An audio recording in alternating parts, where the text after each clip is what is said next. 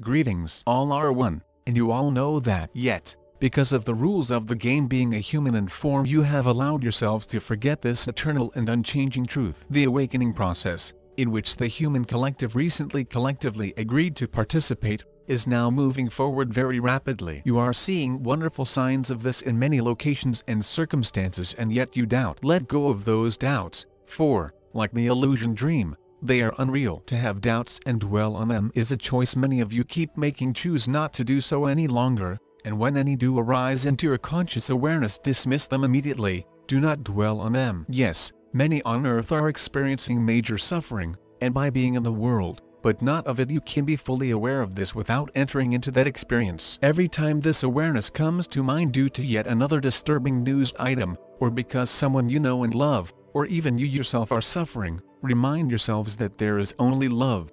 Then send love healing to whichever suffering one wants. You have become aware of, but without being drawn into that suffering and thus allowing your energy to be drained by any sense of guilt or shame you may feel in the awareness of knowing that all are one, and perhaps then feeling or believing that maybe you too are in some way responsible. You need all your energy and you have a limitless abundance of it in every moment to be able to send the fullness of love healing to those in need. You have all experienced the powerful and uplifting energy of love and acceptance when in the presence of a very loving person. Well, you all have that power, and when you choose to be at peace within yourselves, no matter what is happening around you, then it is fully available for you to direct to wherever you are intuitively guided to direct it. You are, as we have discussed before, presently on earth, precisely where you are now, because you made the wise, generous, and most beautiful decision before incarnating to assist as fully as you possibly could in humanity awakening process.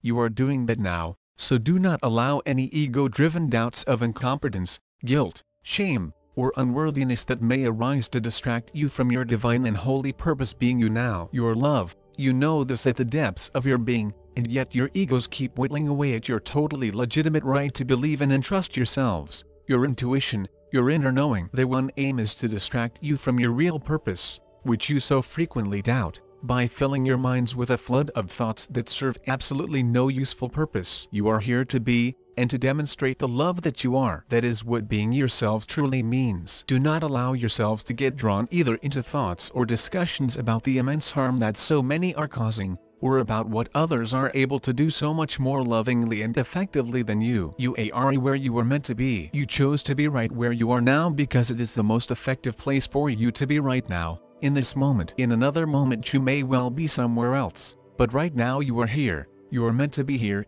so be here. In this present moment you are always exactly where you were meant to be, and this is true in every moment.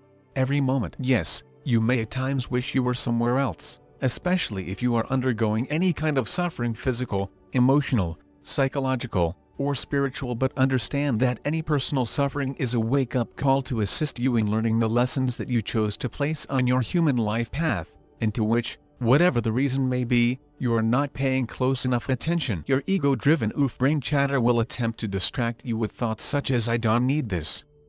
This is not fair. I am really doing my best so why is this happening?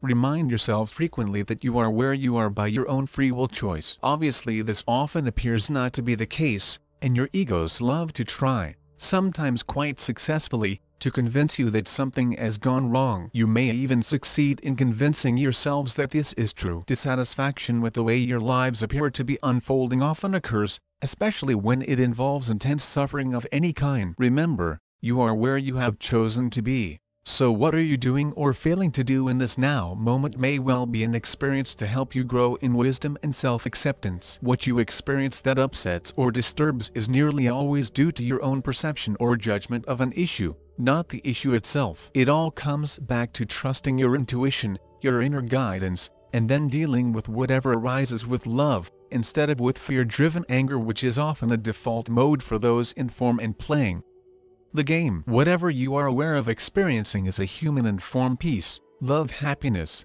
pain suffering, or resentment do take a time out to remind yourselves that your true nature is love, that you are always inseparably at one with Source, and you are in the situation that is delivering these experiences in order, by your loving presence, to assist others who are also undergoing various assorted difficulties. This is not a case of attempting to be spiritually significant in the eyes of others, because if you do come from your hearts, offering only love, you will be doing enormously successful spiritual work and it hardly work.